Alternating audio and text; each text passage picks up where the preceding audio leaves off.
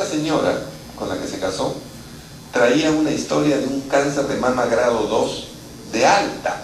Ya no tenía ningún rastro. Los marcadores oncológicos eran negativos. estaba bien. Se llama. Y hace menos de un año empezó con unas molestias medias raras. Le mandamos dos estudios y estaba sembrada del cáncer.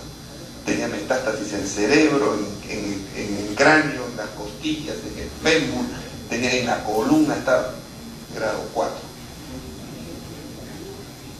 Se fue al hospital para que le den su quimioterapia y Ángela y yo le dimos los factores de transferencia en cápsula.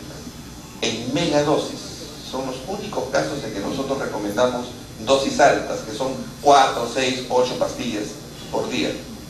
Yo le puedo presentar a René acá y René parece como ustedes, que no tiene nada. Viaja, ha hecho su vida normal. Cáncer 4.